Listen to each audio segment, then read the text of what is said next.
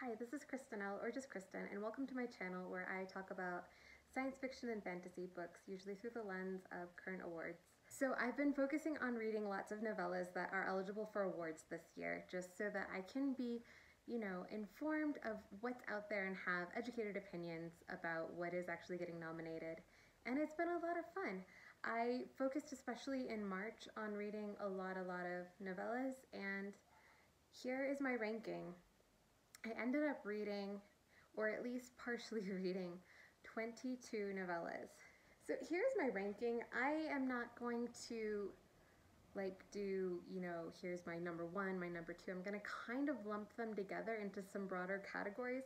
And I'm actually gonna do it a little backwards because usually I feel like when you watch a ranked video or read a listicle or whatever, we start with the least favorite, but I'm actually gonna start with my favorites and then kind of go from there. And remember, these are my personal ranking.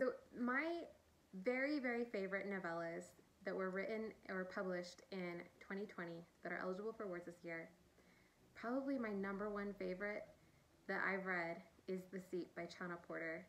This book was just, it really, it just struck me perfectly. It was creative, it was interesting, it was absurd.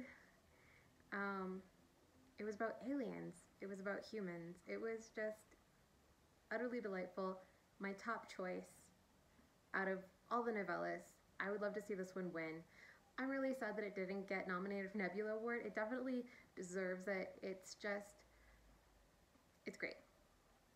Uh, also in my favorites category is Prosper's Demon by, I think it's A.J. Parker. I just finished this one a few days ago and it was it was just so entertaining. It was a really quick read. It was fun. It was interesting. It was quirky. It had some surprises. Um, I would love to see this one also nominated. Once again, also didn't make the Nebula nomination list, but you know, maybe we'll see it on Lucas, Locus or Hugo. I don't know. Maybe I just have really unique tastes. Um, and then the other favorite that I have in this category is The AI Who Loved Me by Alyssa Cole. I talked a lot about this in other videos. I read it a few months ago. It was kind of a mashup of a rom-com and sci-fi and it was just loads of fun, just really lighthearted, but at the same time a, a real like futuristic sci-fi kind of world with a lot of sci-fi elements and it was just a blast. I thoroughly enjoyed my time reading it. So these three, I really thoroughly enjoyed my time reading them. I felt like they were crafted well, and I think that they deserve to be on nomination lists. My next category is my good category. So in my good category, I have books that I really enjoyed. I would definitely be happy to see them on nomination lists, but they weren't my favorites, and maybe there was just one or two things that didn't quite work for me, but on the whole, I still loved them.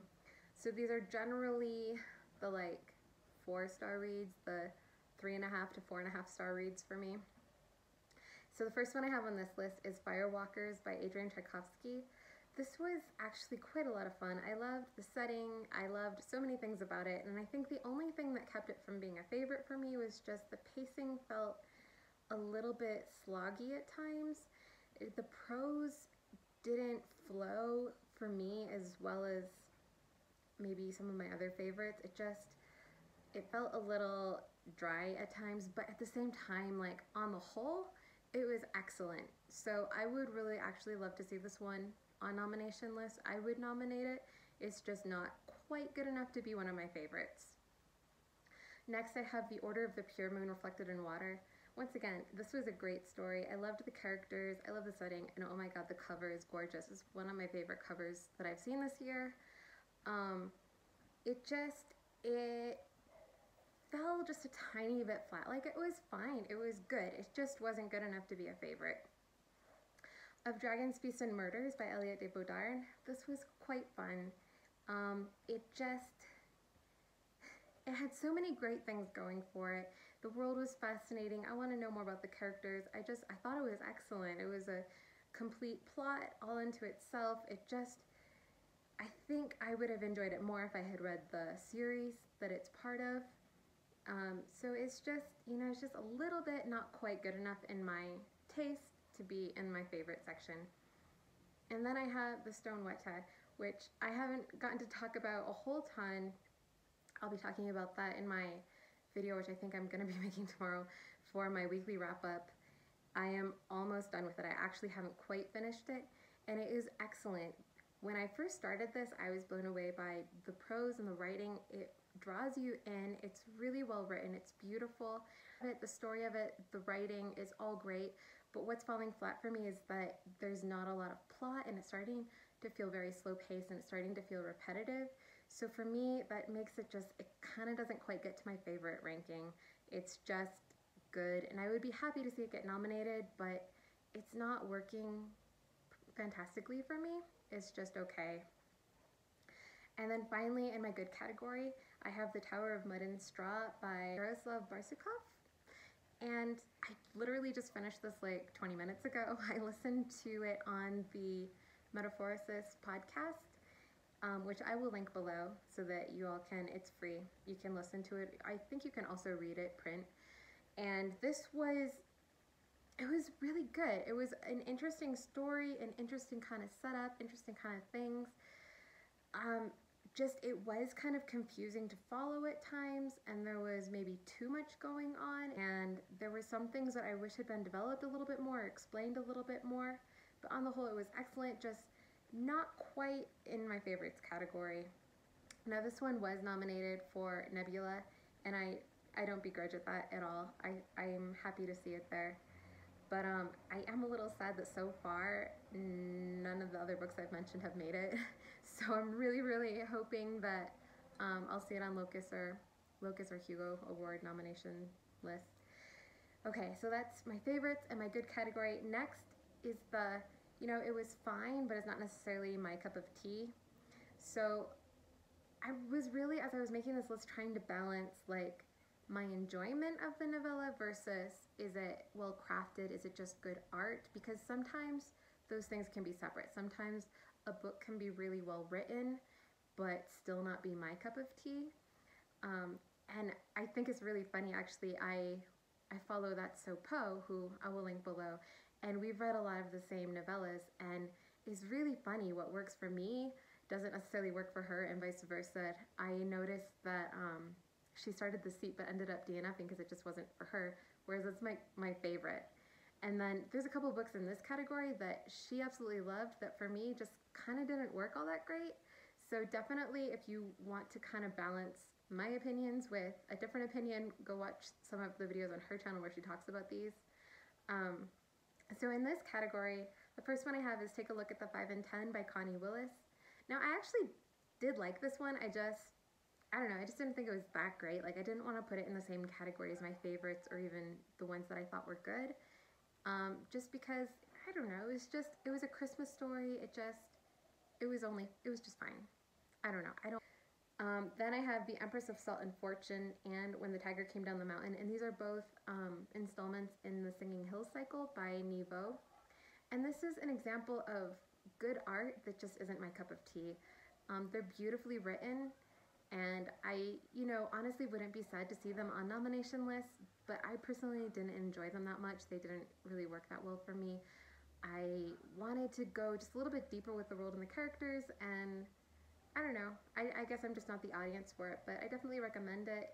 And then finally in this category, I have Ring Shout by P. Djeli Clark.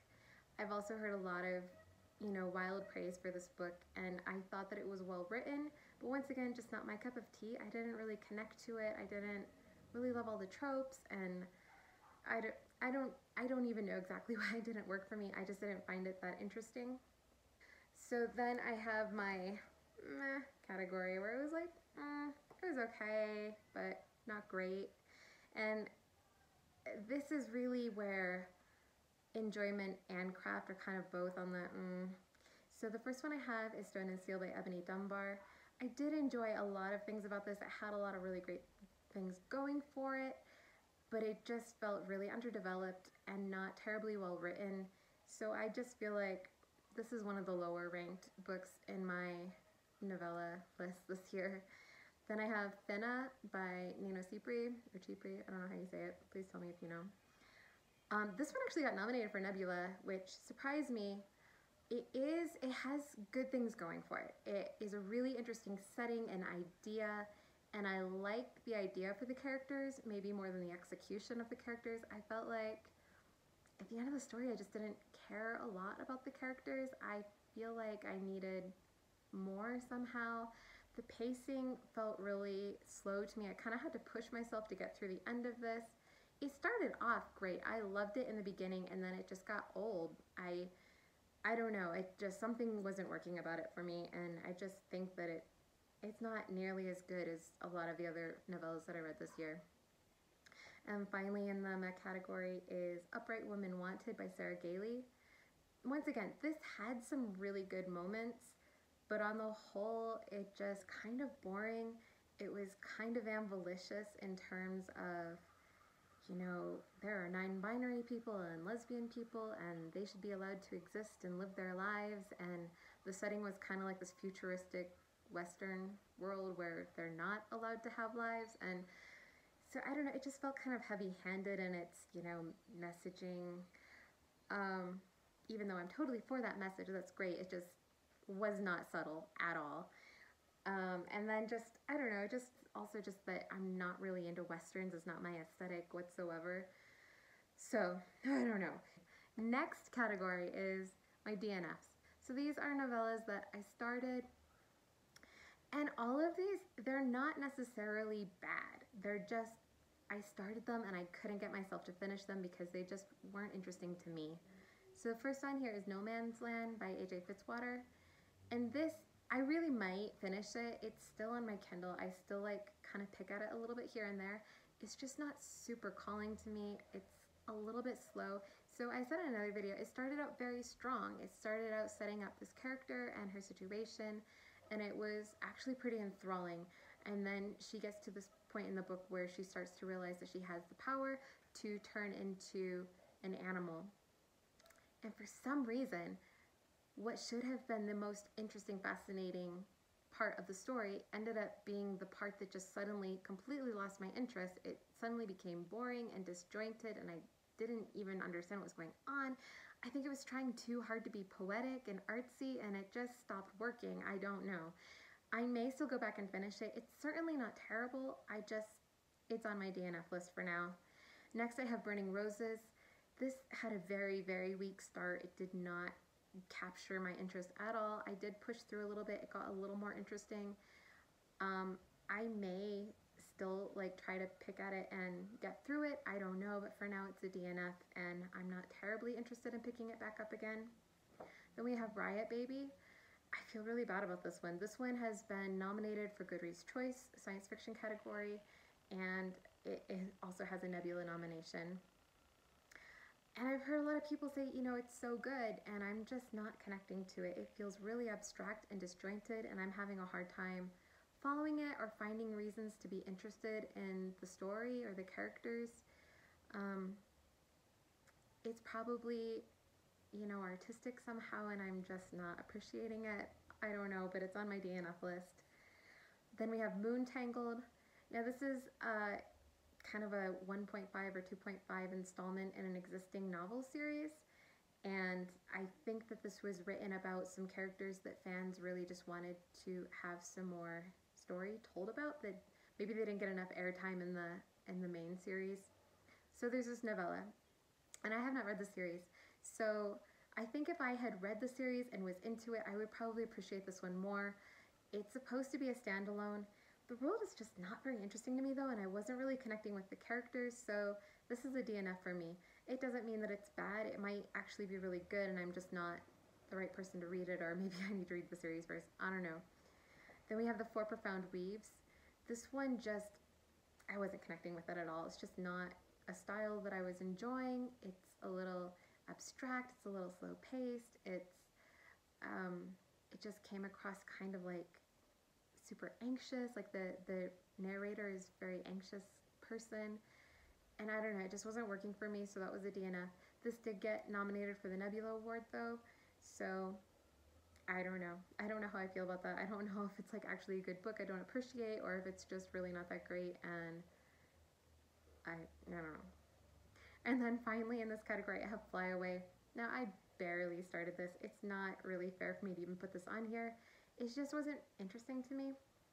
It's by no means bad. It might be really, really good. It's just not a book that appeals to me, so I didn't bother to push myself through any more of it.